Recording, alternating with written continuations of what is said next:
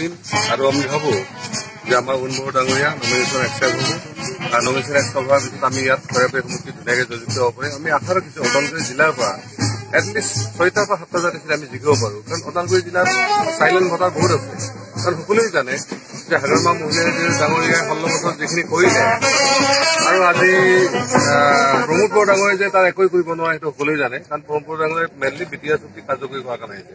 আৰু B T R চুক্তি কৰাৰ সময়ত ইয়াত থকা সত্তৰ শতাংশ যি বাকী জাতি জনগোষ্ঠী আধা জাতি জনগোষ্ঠী বিলং কৰে তেওঁলোকৰ না কোনোবা তেওঁলোকৰ জনপ্ৰতিনিধি না কোনোবা জাতীয় দল সংগঠনৰ সদস্যক সুধিছিলে। ইভেন আমি কোকৰাঝাৰত আমাৰ তিনিখন ডিষ্ট্ৰিক্ট আছে আমাৰ এম পিত তথাপিতো তেওঁলোকে কিন্তু এটা কথা নুসুধিলে সেইকাৰণে মোৰ বিশ্বাস আছে যে পৰিৱৰ্তনৰ স্বাৰ্থত আৰু অধিকাৰৰ স্বাৰ্থত আৰু বিশেষকৈ পোৱা নোপোৱাৰ স্বাৰ্থত উন্নয়নৰ স্বাৰ্থত এইবাৰ নৱশৰণীয়া বা গণশিক্ষা পাৰ্টী অপশিক্ষা সমিতি ঐক্য মঞ্চকে আদি কৰি তাত য'ত মানে আকাশৰ পৰা নাটকী ছাত্ৰৰ পৰা আচাৰ পৰা আদি কৰি সকলো জাতীয় দল সংগঠন আছে তেওঁলোকৰ সমৰ্থিত যিটো কেণ্ডিডেট আমাৰ ইয়াত অৰুণ বড়ো তেখেতক ভোট দিব বুলি আমি বিশ্বাসী আৰু বিশেষকৈ খৰিয়াবাৰী বা ওদালগুৰি এটা ভয় শংকা আজিও আছে আজি ৰাইজৰ এটাই কথা যে আচলতে আপোনালোকক আমি ভোট দিম কিন্তু তেওঁলোকে ওলাই আহিব নোখোজে। আৰু ইণ্টাৰেষ্টিং কথা যে অলৰেডি আমাৰ প্ৰমোদ বড়ো ডাঙৰীয়া আৰু হাগ্ৰামা দৰঙা দুঠাইত তেওঁলোকে তেওঁলোকে মানে নমিনেশ্যন ছাবমিট কৰিছে। আৰু আমাৰ বিশ্বাস আছে যে তেওঁলোকে যিটো ভয় খাইছে সেইটো প্ৰকাশ হৈছে।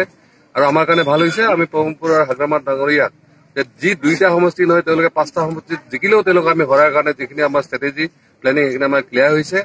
আৰু আমি হয় আমি আচলতে মই ব্যক্তিগতভাৱে ইলেকশ্যন খেলা কথাটো ৰাইজে বিচাৰিছিল।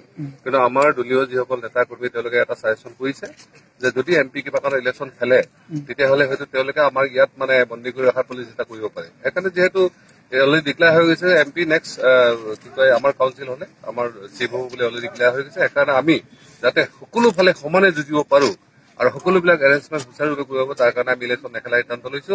আৰু আশা কৰো যে এইবাৰ বি টি চি আমি দখল কৰাই নহয়। আমি ৰাইজৰ সকলো শ্ৰেণীৰ ৰাইজৰ মই ইভেন ইয়াত কিছুমান কথা আহে যে আমি ট্ৰাইবেল বিৰোধী নেকি। আমি নিজে ট্ৰাইবেল হয়। গতিকে তাত বিৰোধী হোৱাৰ কোনো কথা ট্ৰাইবেলৰ যিখিনি হক যিখিনি অধিকাৰ যিখিনি প্ৰাপ্য সেইখিনি তেওঁলোকে পাবই। আৰু বাকী যিসকল জেনেৰেল পিপুল আছে তেওঁলোকৰ মাটি অধিকাৰৰ পৰা ৰাজনৈতিক অধিকাৰৰ পৰা আদি কৰি সকলো অধিকাৰ যাতে তেওঁলোকে প্ৰাপ্য হয় তেওঁলোকে চৰকাৰী সাৱধানী পায় তেওঁলোকে যাতে উন্নয়নৰ পাঠ হ'ব পাৰে। আৰু এটা কথা মই কওঁ যে দুই এটা ঠাইত মানে আমাৰ অবৰ শিক্ষা বুলি নামত এটা এন জি অ' আছে তেওঁলোকে গাঁও গঠনৰ নামত লাখ লাখ টকা তুলিছিলে তুলি তেওঁলোকে মানে নিজৰ কাৰণে বা মানে অনাচাৰ কৰি মানে তেওঁলোকে শেষ কৰিলে। এতিয়া তেওঁলোকে আমাৰ বিপক্ষীসকলৰ লগত লগ লাগি তেওঁলোকে বিভিন্ন জেগাত ৰাইজক কনফিউজ কৰাৰ কাৰণে কিছুমান কৰ্মী দিছে। অথচ তেওঁলোক ইলেকশ্যন খেলাৰ কাৰণে সেই অপৰ শিক্ষা সমিতি কিন্তু গঠন হোৱা নাছিলে।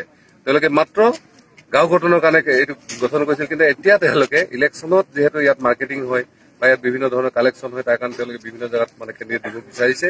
সেইকাৰণে মই ৰাইজক কৈ দিছো যে অপৰ সুৰক্ষা সমিতি যিটো যোগেশ্বৰ কলিতা ডাঙৰীয়া যিটো এন জি অ' সেইটো এন জি অ'ৰ ৰেজিষ্ট্ৰেশ্যন আছে।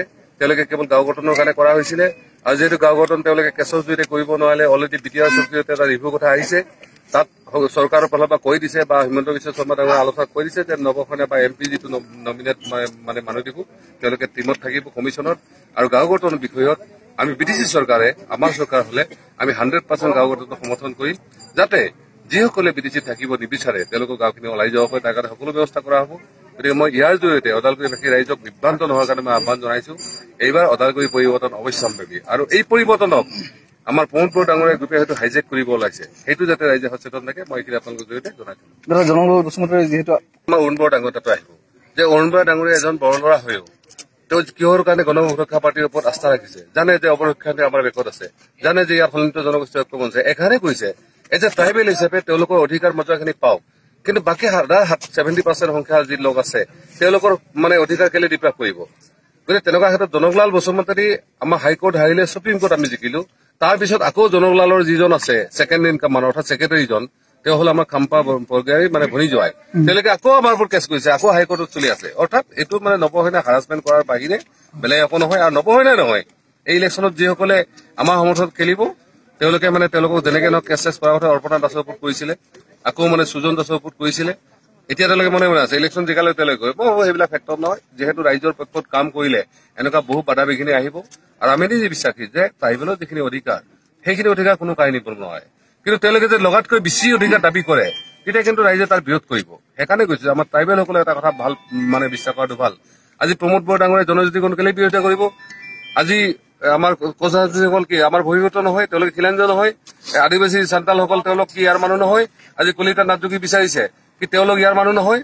তেওঁলোকে এইটো কেলে বিৰোধ কৰে? চৰকাৰে পালে দিব নিদিলো আজি যদি আমি ট্ৰাইবেল হৈ সত্তৰ বছৰ আমি ট্ৰাইবেল ষ্টেটাছ এনজয় কৰিছো অলৰেডিটো হিচাপ মতে ট্ৰাইবেল বিলাক বহুত ওপৰত যাব লাগিছিল। গতিকে বাকীসকল যিসকলে সত্তৰ বছৰ ডিপ্ৰাইভ হ'ল তেওঁলোকে আজি বিচাৰিছে। তাত আমি বাধা দিয়া কি দৰকাৰ আছে?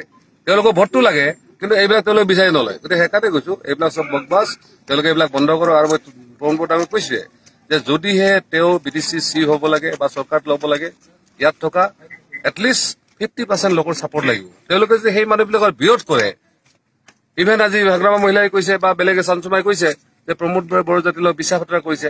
গতিকে সেই কথালৈ মই নাযাওঁ তেওঁলোকৰ বাদ বিবাদত মই সোমাব নোখোজো। কিন্তু এইটো ঠিক যে এইবাৰ পৰিৱৰ্তন নামত যাতে কোনো হাইজেক কৰিব নোৱাৰে এইটো সচেতন হ'ব লাগিব। আৰু অৱৰৰ নাম কৰি যাতে কিছুমান দালাল বা কিছুমান মুখা পিন্ধা লোকে তেওঁলোকে যাতে ৰাজনীতি কৰে সেইটো আমি চাব লাগিব। সঁচাকে যদি নৱসৈনীয়া দলক বা নৱসেনাৰ লগত থকা ৰাইজৰ লোকসকলৰ প্ৰতি ৰাইজৰ বিশ্বাস আছে ভোট দিয়ক মই নিশ্চিতভাৱে কৈছো যে বি টি চিত যিবিলাক সমস্যা আছে তাৰ উপৰিও আমাৰ বৃহৎ সমস্যা এটা। ইয়াত চাকৰিৰ নামত বড়ো বড়ো খেলা হয় ট্ৰাইবেল জনে খেলা হয়। যিমান চাকৰি হৈছে ট্ৰাইবেল নামত দিয়া হয়। কিন্তু আমি ওদালগুৰি ৰাইজৰ এটা কথা ক'ব বিচাৰিছো যে ওদালগুৰিত যিমান বিলাক চাকৰি দিছে এইটো ট্ৰাইবেল হলেও বড়ো হলেও কোকৰাঝাৰৰ পৰা দিছে? ওদালগুৰিত কি বৰমান নাই? ওদালগুৰিত তেওঁলোকে এবাৰ চিন্তা নকৰে যে ওদালগুৰি মানুহে তেওঁলোকৰ কাৰণে দিছপুৰ ঢুকি পা সহজ তেওঁলোকৰ কাৰণে দিল্লী ঢুকি পা কোকৰাঝাৰ ঢুকি নাপায় তেওঁলোকে গতিকে সেইকাৰণে কৈছে যে গোটেই কোকৰাঝাৰখন আমি আমি জিকিলে আমি চৰকাৰ মানে ওদালগুৰিত লৈ আহিম। ইয়াত সকলোবিলাক চাব অফিচ যাব। ওদালগুৰি মানুহে কোনো কাৰণতে কোকৰাঝাৰ যোৱা দৰকাৰ নাই। ইয়াতে অফিচবিলাক কৰিব আৰু মই নিশ্চিত যে এইবাৰ যিমানে বিভ্ৰান্তি কৰক যিমানে যি কৌশল কৰক আমি ভাবো এইবাৰ আমি জয়যুক্ত হ'ম আৰু বি টি চি দখল আপোনালোকে দেখিছে যে একমাত্ৰ নৱশৰণাৰ মানে হয়তো প্ৰেচাৰত আজি সকলো দলে নিজৰ নিজৰ পজিশ্যন ক্লিয়াৰ কৰিছে। আমি BJP Congress A I D এফক clearly কৈছো যে তেওঁলোকে অভিভাৱকৰ ভূমিকা লওক। তেওঁলোকে ইলেকশ্যন খেলি বিভ্ৰান্ত নকৰি ৰাইজক ভোট বিভাজন নকৰি তেওঁলোকে দূৰত থাকক আৰু যিহেতু চৰকাৰ মানে তেওঁলোকৰ চেণ্ট্ৰেলত আছে তেওঁলোকৰ ডিছপুট আছে আৰু বিদেশী চৰকাৰখনে কোনো কাৰণতে ডিছপুট দিল্লীক বাইপাছ কৰিব নাই এইটো কথা ক্লিয়াৰ কথা। সেইকাৰণে কৈছো চৰকাৰ আমি গঠন কৰিম চৰকাৰ তেওঁলোকে সহযোগ কৰক আৰু বিটিচিত ট্ৰাইবেল অট্ৰাইবেল বা বড়ো অপৰৰ যিখিনি বিষয় মই ভাবো এইটো টুৱেণ্টি ওৱান ইলেকশ্যনৰ আগে এইটো অভাৰ হৈ যাব।